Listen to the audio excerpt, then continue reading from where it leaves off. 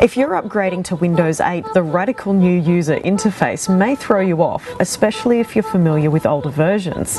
These tips should set you straight. The Start button has now been replaced by the Start screen.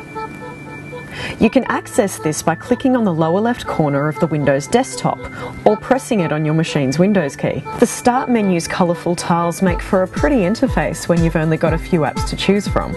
Once you start loading up your system, it can be hard to find individual programs. To search your apps, just start typing the name of the program you're after in the Start screen.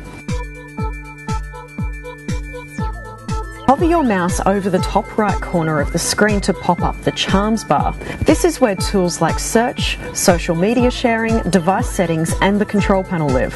When you're done, you might be surprised to find that Microsoft has buried the shutdown command in its new OS.